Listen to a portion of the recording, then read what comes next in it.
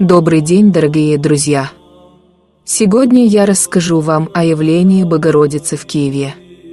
Десятинная церковь или храм Успения Пресвятой Богородицы считается первым каменным православным храмом на Руси, воздвигнутый князем Владимиром в 989-996 годах в Киеве на месте кончины русских первомучеников Феодора Варяга и его сына Иоанна. Храм был освящен в 996 году. Храм получил название Десятинной церкви. На содержание ее князь Владимир выделил одну десятую от доходов княжеской казны. На Пасху в 2006 году впервые после восстановления церкви совершили праздничную божественную литургию в Скинье у Десятинной церкви.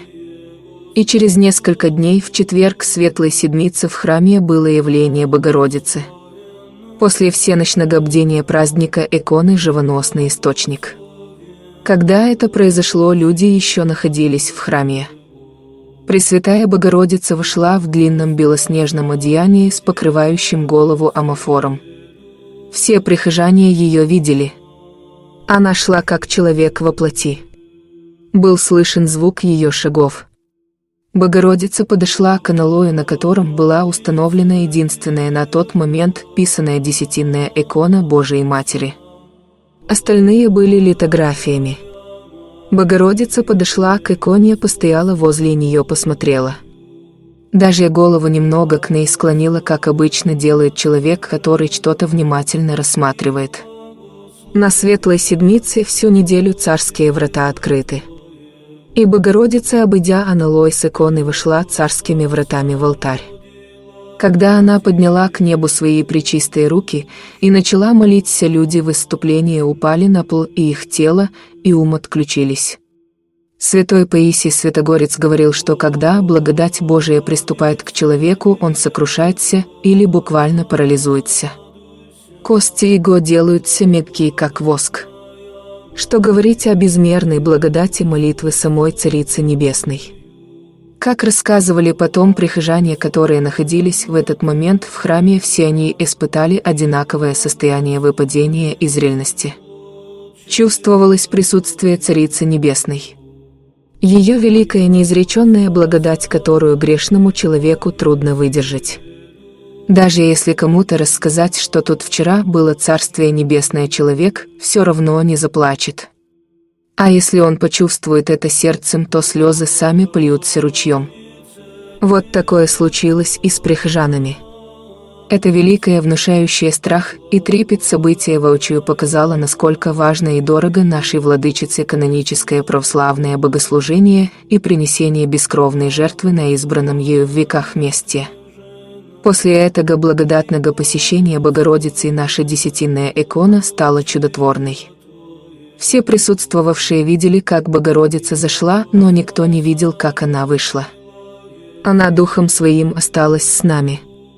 В 2016 году на Пасху был юбилей этого события. Десять лет, как на этом святом месте возобновлены богослужения. Десять лет со дня явления Богородицы – Промыслительно оно было именно здесь. Ведь Десятинная церковь – первый на Руси собор Пречистой Богородицы. Мать всех русских церквей. Отсюда начало утверждаться христианство на нашей земле.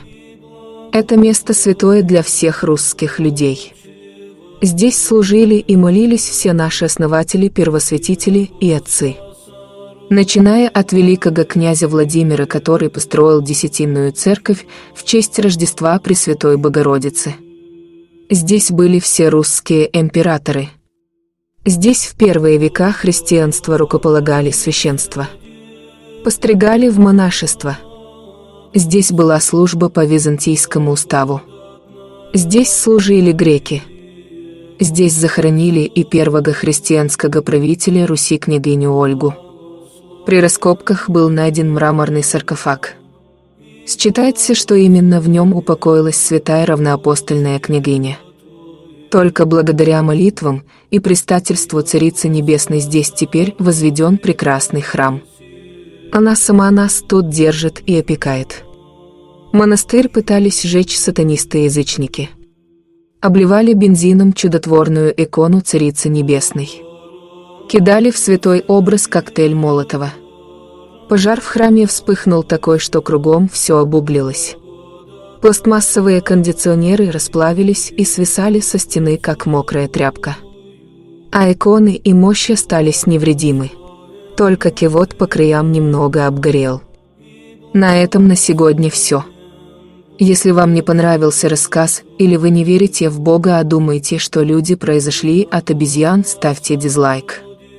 А если вы человек верующий, и вам понравился рассказ, ставьте лайк, жмите на колокольчик и подписывайтесь на канал.